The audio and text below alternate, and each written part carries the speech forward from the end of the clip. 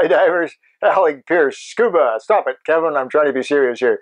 Uh, we're going to talk about computers again. I know we just did a, a short uh, episode on dive computers a short while ago, and I dealt with, uh, I think, what I think is important information for new divers buying an inexpensive wrist mount and console, lots of air integration, all that kind of stuff.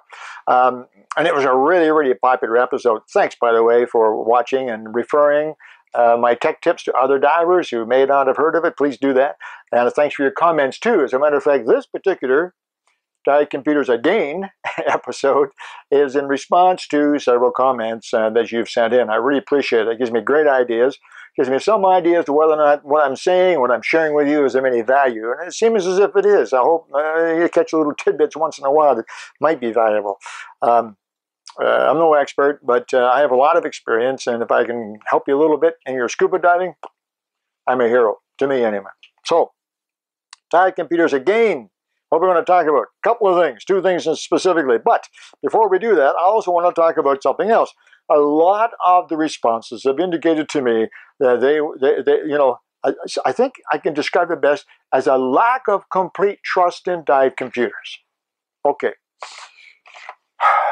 here we go, guys. 1958, I started diving. We didn't have SPGs. There were no SPGs. We did not have a submersible pressure gauge. We had no gauge that would tell us how much air was left in the tank. We had depth gauges. They were called capillary depth gauges. It's a little plastic tube, and water went in the open end and sort of squeezed the air. You read about it on Google. Go to Google and, and, and, and, and Google capillary depth gauges. That's what we had. They were extremely accurate up to 30 feet. From between 30 feet and 100 feet, you had no idea how deep you were. Point is that we had no gauges. When the first good depth gauges and SPGs came along, oh, this is fantastic. That's it. The sport of scuba has reached its zenith. We are happy men. Yeah, and then a little later in the 60s, the first computers. Yes, the first computers. I actually did an episode, didn't we, on Vintage Scuba, my Vintage Scuba a playlist about, uh, about vintage computers. And I'll tell you right now that the very first die computers, computers is maybe a very complimentary word, came out in the 60s. And there were lots of them. Some were good. I'm trying to think of one. they weren't very good. And they were based on a rather flawed theory. But there were dive computers and they did help. And, uh, and then for many, many years, of course, we have used dive tables. And in combination with a good watch and a depth gauge, and within reason, uh, most divers were able to calculate their, uh, their, their uh, nitrogen uh, uptake and multiple dives, and we've become accustomed to that. But it has been cumbersome and it does require regular practice. Every diver for many, many years learned the dive tables based on the old U.S. Navy dive tables from the 50s. They haven't changed much. And they all learned them, practiced them, passed the uh, written quizzes and so on on them. Uh, but I bet you a large percentage of divers haven't used them since and couldn't, if you asked them, calculate a couple of the repetitive dives on dive tables. That's the problem with them. You have to use them regularly. And even if you are very, very familiar with the dive tables, you cannot do what a dive computer can do. So, so those of you that, that express some some um, uh, lack of trust in dive computers, okay, okay, I, I can I, I can work with that, but don't forget what they can do. They're fantastic. They've made diving so much easier and safer than we really have. If you feel compelled to carry a spare, if you're absolutely, you know, you're not going to be comfortable unless you have a, a dive gauge down there, hey, go for it. No problem whatsoever with me. However, when new people come into the dive store and I am there and they ask me, I need to get a computer, should I get a backup or do I need to keep my depth gauges? My answer is, you know, it's a personal choice, but no, I don't use one. Uh, the dive computers today I made a dive computer purchase in the last three, four, five years, not more than five years old. In all intents and purposes, is 100% reliable. Now, when I say 100%, you know what I mean. It means that there's no reason for it to fail. They don't fail. Other people said, well, I like my good old analog gauge. You know, I have analog gauges here in my equipment course box that I can take apart. You can see the inside. If you saw the inside of that analog gauge, you might not be quite so confident. Little tiny gears, little chains and a little, a little thin brass Bourdon tube all connected with gears. It's like the inside of a fine watch. Yeah, drop it, it's toast. Yeah. or at the very least is inaccurate. So please don't be don't fall in love with those Bourdon tube gauges, both the SPGs and, and the analogs. Hey, we're far from perfect. I have boxes full of busted ones. Uh, uh, so anyway, whatever. It's a very personal thing. Me, modern computer, reliable, accurate, and it gives you more dive time. That's right. Because with the dive tables, even if you're very proficient, it's very difficult for you to calculate the effect on your body, that is the nitrogen uptake effect on your body, for a recreational type dive. A dive where you start at the surface, we all do, go very deep, shallow, deep, shallow, deep, shallow. This is how recreational divers dive. They don't go to the bottom like a Navy diver, do a job and come back up. They go like this all over the place. You can't possibly begin to calculate how much nitrogen your body has absorbed with that type of a dive profile. But a computer can. If you go to 100 feet and then back up to 30, the computer says, hey, you got lots of time underwater. Using a dive table, you're out of there in 20 minutes. 100 foot dive, right? So don't discount them. Use your own personal judgment. Whatever makes you feel good inside. That's what's important. Having a good time and being safe. However, let me talk about dive computers. On that same subject, if some of you do want to have a redundant dive computer, another dive computer, there is a product from Oceanic, one of the top manufacturers in, uh, in, in North America. Been around for a very long time, since the 50s. And uh, they also make very, very fine computers, one of the, some of the finest computers in uh, available.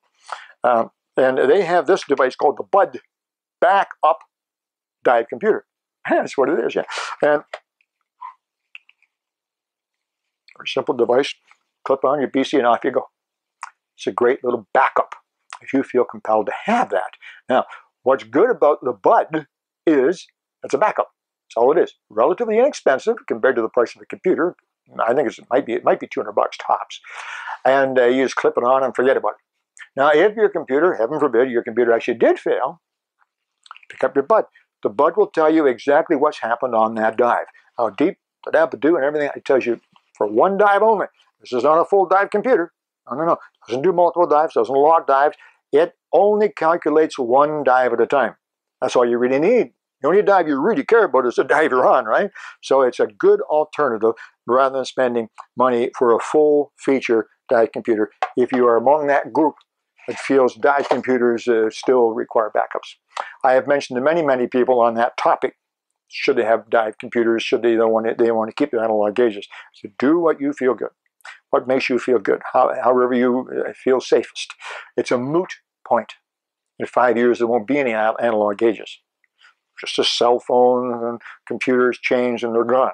I predict in five years, analog gauges will be. There'll be my. I'll be doing. I'll be doing a vintage episode on analog gauges. I'll be talking about you guys and how you loved them. hey, we'll see if I'm right. Anyway, I want to talk about two things today that came up in discussions. One of the first things I want to talk about is OLED. What? OLED. OLED, what's that? LED. LED.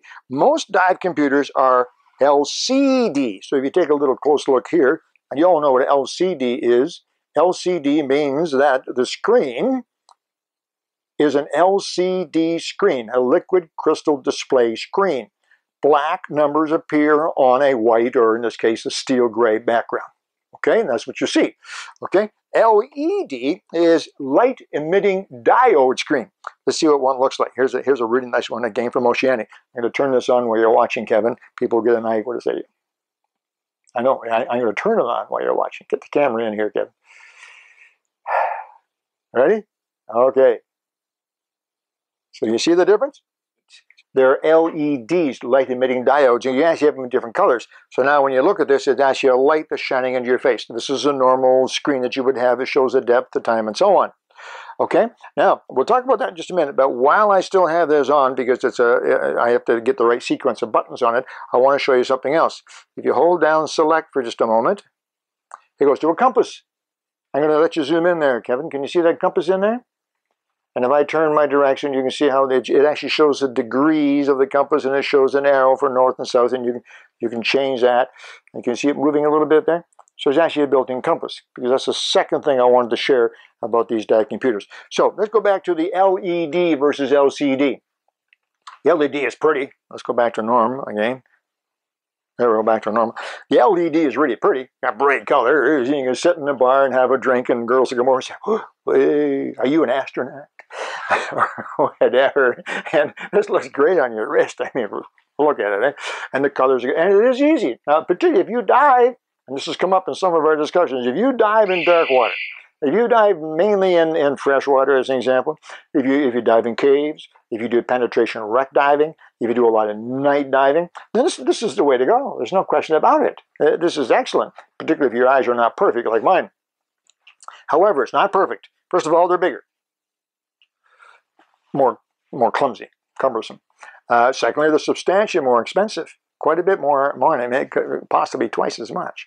Uh, secondly, they do cost more to service. The batteries are different and they need service every year. LEDs use more battery than LCDs off the bat. Uh, plus, as you know, these have transmitters, so the transmitter needs to be changed as well. The transmitter, in case you're not aware, this sticks on your regulator and it transmits the air supply the amount of air in your tank to the computer. So this computer, when it's working, actually shows air supply where it's flashing down here at the bottom. Um, so they're not, not perfect in any, any respect. Now I want to mention about this, this light. People say, oh, it's so nice, so it's nice and bright. Well, when it first went on there just a moment ago, you may have noticed for just a moment you couldn't see the screen. That's right, because the lights that Kevin has set up here to blind me uh, was shown, shown on the screen from, and you couldn't see it. That's exactly the singular, I think the single downfall, other than the fact it's more expensive and more expensive to serve. You see, if you have an LCD compass, LCD compass like this, okay, they this is like a watch. Do you remember uh, early digital watches? They had a they had a light in them called Indiglo, Indiglo, and it was kind of neat. You push a button and it would light up and you can see the, the screen behind. Well, these have the same thing. So if you're in a dark situation, caves, whatever situation, you can press the button and a, a light shows up, and you can see it perfectly well. Because these are based, the, the, the ability to see this screen is based on uh, uh, uh, the contrast between the dark numbers and the light background. Now, if you have a problem seeing it, shine a light on it.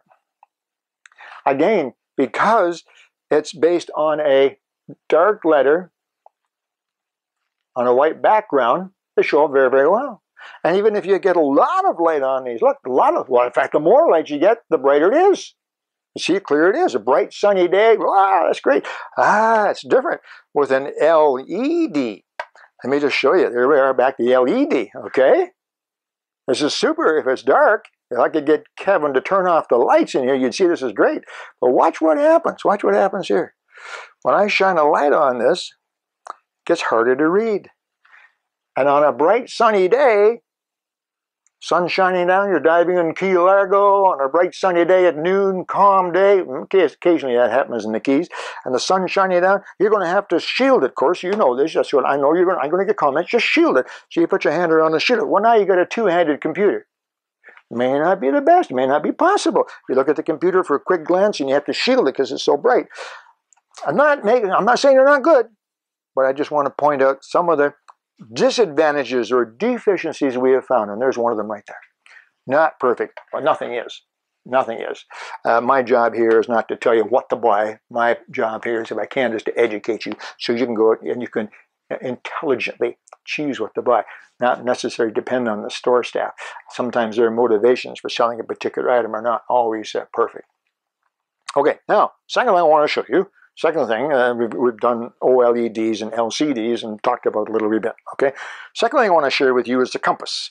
Compass, built-in electronic compass. Let me see if I can get this one back here, Kevin. so here's the compass on the LED, light emitting diode. There's the compass. That's as big as it gets. And you can see it has a traditional compass rose, a circle, with supposedly degrees on it. And you can see at the top it shows the degrees and there's an arrow that points. No, this is very much like a real compass. As you move and face in different directions, it moves a little bit. The number of de degrees, the degrees changes, and and and the uh, the uh, arrow moves around the rose as well. That's pretty good, pretty good. Keeping in mind on a bright sunny day and the other limitations we've talked about might be hard to read, but it's a pretty good compass. A nice big screen, that helps a lot. On a more traditional LCD, liquid crystal display, let me see if I can get the compass on this one, Kevin. I think it is select. Yep, there it is right there. On this one, it's a little more difficult to read. There's no question about that. Uh, this is the Oceanica OCI. The one I use, actually, I like it quite a bit. Tip it back a little bit, Kevin and a little more light on it. Just the opposite of the other one. Huh? So on this one, you can see it's a little bit different. What it has, it shows you the degrees again. It doesn't show the actual rose. It just shows the compass, the, the, the arrow. It doesn't show the whole rose on there, the compass rose. It just shows the arrow. So this particular one shows that I'm going backwards right now. Not really. If this was on your wrist and you're swimming, the, ro the rose points to north. Now you can choose. You can you, the arrow points to north. You can choose what you want. You can have the arrow point north. Or you can have have the arrow point in your direction of travel at all times, and uh, and uh, and you just read which way it is and the, and the number of degrees. So this, the screen is not maybe as a bigger screen, but because it's been simplified, it's probably just as easy to read. 127 degrees, and I'm going that way. And really, that's all you need. You probably already have discovered, if you are a scuba diver and you've used a compass at all underwater, you've already discovered that underwater compasses uh, are, are not precision instruments. When I was a Boy Scout leader many, many years ago, about 100 years, I think, anyway, uh, Boy Scout leader, and we had to teach the, uh, the, the Cubs how to use a compass uh, we really gave them a hard time, and they learned how to how to be able to walk within a degree or degree and a half out in the middle of a field and find a matchstick. That's what we used to do. We'd go to the golf course and put a match down on the grass, and you had to find that matchstick sticking up out of there. And uh, they were pretty good. You can't do that underwater. Almost impossible. There's simply too many factors, not to mention the fact that you're three-dimensional. There's up and down. Oh, and currents. So it's up, down, left and right, and back and forward, and everything else. And so it's very, very, very difficult, even for a very experienced uh, swimmer. Distance, direction, currents, just too many factors involved. But on the other hand, generally speaking, compasses underwater are designed to get you back to the boat or back to the shore.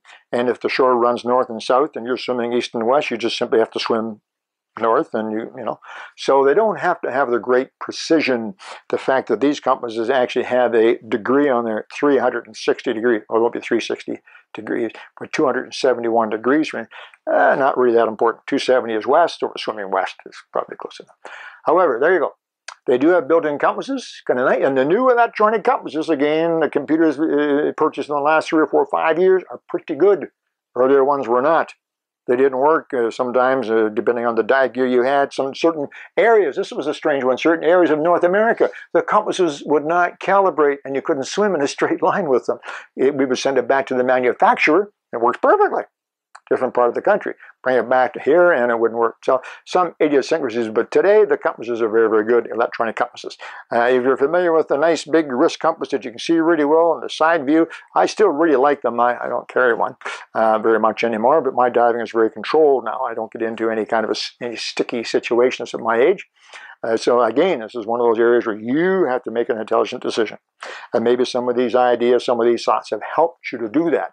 At the very least, it might direct you as to what to look for, what to research, and help you make your decision. Okay, guys, so I took care of OLEDs and I took care of electronic compasses. Okay, like I promised. Keep the comments coming. I love them. Alec Peirce, Scuba, Tech Tips.